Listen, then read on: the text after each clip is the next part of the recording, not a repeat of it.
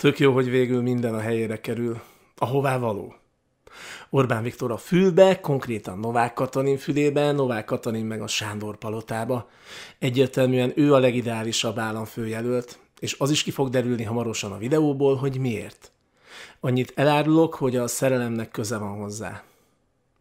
Szóval Novák Katalin az ideális jelölt. És mi még nagyon ideális? Hát az, hogyha feliratkozol a csatornára és megnyomod a csengőt, mert akkor mindig fogod tudni, hogy mikor kerül fel új videó. Úgyhogy iratkozz fel és nyomd meg a csengőt. Győztünk!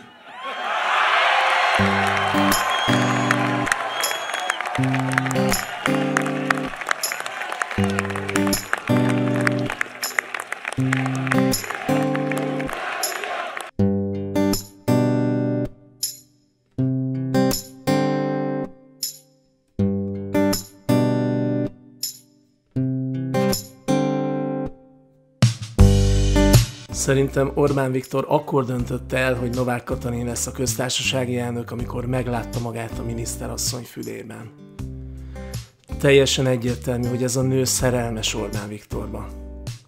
A szerelem nagyon tág fogalom. Nyilván nem úgy értem, hogy Katalin kész lenne otthagyni a családját, és szó szerint szerelmes a vezérbe, de mégis egyfajta szerelemről lehet szó. Imádja őt.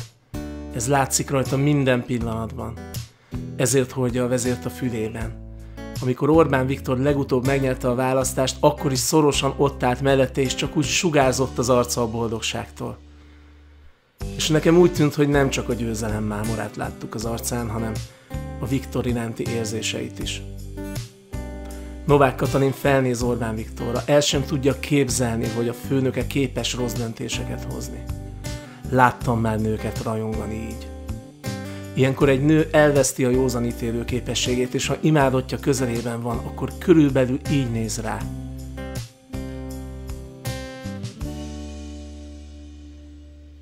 Ezért ennyire veszélyes ebből a nőből köztársasági elnököt csinálni. És éppen ezért csinál belőle Orbán Viktor államfőt.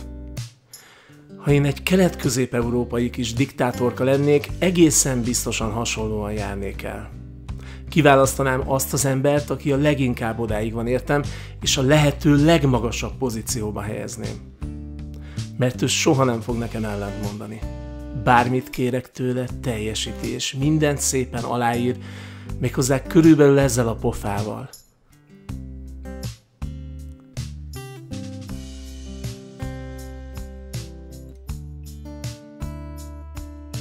Alkalmas-e Novák Katalin köztársasági elnöknek? Persze, hogy az. Az érzései teszik alkalmassá. Ezért jóval alkalmasabb, mint Áder János. Mert Áder János is ki tudja mondani a kulcs szavakat a bajsza mögött, csak már a Viktornak is rohadt unalmas azt hallgatni állandóan, hogy Szeretlek, Viktor, mindenre kész vagyok érted egyetlenem. Bármit aláírok, amit csak akarsz. Aláírom, amit kell, aztán megyek horgászni. Ezek nagyon szép szavak. Jó lehet ilyeneket hallani Áder Jánostól is, de ha mindezt egy csinos nő adja elő, az azért nagyon más, és hát Novák Katalin nem néz ki rosszul. Orbán Viktor pont abban a korban van, amikor már szüksége van arra, hogy folyamatosan férfinak érezze magát. Az már nem olyan izgi számára, amikor egy rakás palinyal be neki. A nők nyelve sokkal izgatóbb tud lenni ki az, aki izgalomba tud kerülni Húd Gergely vagy Bajer Zsolti nyelvétől? Most őszintén. Hát bármilyen ügyesen nyal is Húd Gergely, meg kivételesen tehetséges, ezt el kell ismerni. Bajer Zsolt úgy szintén. De az ilyen nyalásból valahogy hiányzik a, a finomság, az érzékiség. A nők mindig is jobbak voltak ebben. Jeszenszki Zsoltól tudjuk, hogy a fideszes csajok a legjobbak orális szempontból. Igaz, hogy ő egészen másfajta orális teljesítményre gondolt, ő konkrétan a szexről beszélt, én meg nem, csak hogy világos legyen. Teljesen átérzem Orbán Viktor helyzetét. Baromi jó érzés, amikor egy nő odabújik hozzád, persze csak képletesen, simogat, és azt mondja, hogy igen, elnök úr, ez az, Még több családtámogatás kell, igen. Nagyon jól csinálja, elnök úr. Kérem a csokot, kérem a csokot, adja a csokot, adjon nekem. Elnök úr, vágyom a csokjára. Ez az, Viktor, ez az, adja meg nekik, elnök úr. Fektesse két vár az ellenzéket, teperje le őket, hajtson uralma alá engem is, meg az egész országot. Én így szeretem magát. Mindannyian így szeretjük magát. Magától olyan sikeres ez az ország, elnök úr. Csak magától. Maga mellett nőnek érzem magam. Egy igazi államnőnek. Á, ez az. Repítsen fel a Sándor palotáig, Viktor, igen? Most, most!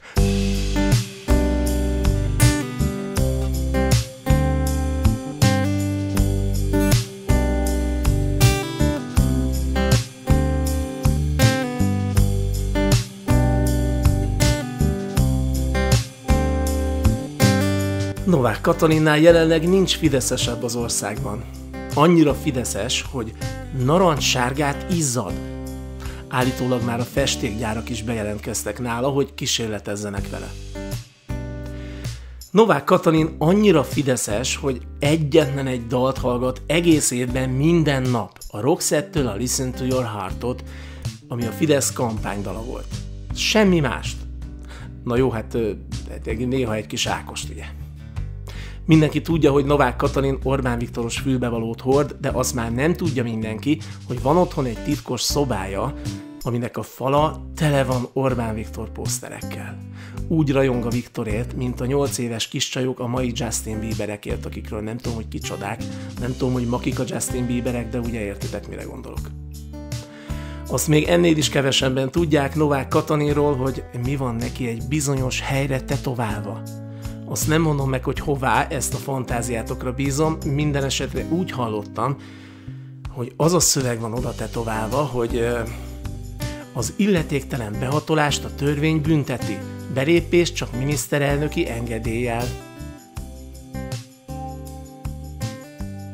Novák Katalin nemrég adott egy interjút az Indexnek, ez is elég beszédes, hogy éppen az Indexnek adott interjút, Na mindegy, idézem a leendő államfőt, Novák Katalint. Akik azt mondják, én csak egy bábú leszek ebben a tisztségben, valójában nem engem, hanem a nőket becsülik le. Nem feltételezik, hogy egy nő önálló döntésekre képes, szuverén közéleti szereplő lehet. Nem Katalin, nem a nőket becsülik le, hanem téged. Egy nő valóban képes lehet önálló döntésekre, csak te nem. Egy nő lehet szuverén közéleti szereplő, csak te nem leszel az, legalábbis, amíg ki nem veszed Orbán Viktort a füledből. Az a helyzet, hogy a miniszterelnök úr iránti érzéseid el fognak vakítani, amikor mondjuk mindenféle papírok kerülnek majd elé, és ugye simán alá fogsz szélni mindent, ami csak ott lesz. Nincs ember az országban, aki komolyan azt gondolná egy pillanatig is, hogy képes leszel szembeszállni a vezérrel, vagy hogy erre egyáltalán lesz benned szándék. Ezt még a fideszes szavazók se tudják rólad elképzelni. Azt is mondja a Katalin ebben az interjúban, hogy a köztársasági elnöknek a nemzet egységét kell megjelenítenie, amint ezt az alaptörvény is világosan megfogalmazza. Ja, hát igen, Katalin. Biztos vagyok benne, hogy pontosan annyira fogod te is kifejezni a nemzet egységét, amennyire mondjuk az alaptörvény.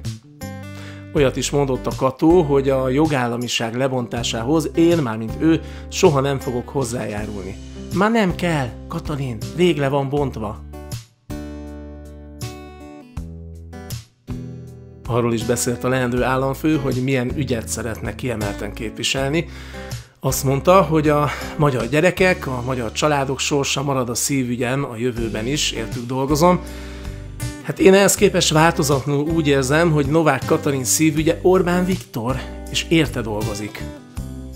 Na jó, de hát ne legyünk ennyire rossz indulatúak, nyalván, akarom mondani, nyilván szeretne Katalin a családokért is dolgozni, gondolom nagyjából úgy, ahogy Áder János küzdött a klímaváltozás ellen. Hát ennyire komolyan szeretnél te is a családokért dolgozni, ugye Katalin? Persze nyilván elsősorban azokért a családokért, amik, hát azért el is jutottak valameddig, ugye? Aki fel tudja venni a csokot, annak segítünk, aki meg nem, hát az így kb. annyit is ér. Aki reménytelen, azon nincs értelme segíteni. Akinek meg amúgy is jól megy, aki nem szorul rá, annak meg adjunk minél többet, az vehessen olcsóban autót. A többiek meg hát hát úgy is ránk szavaznak, mert hogyha nem, akkor nem biztos, hogy lesz majd közmunka.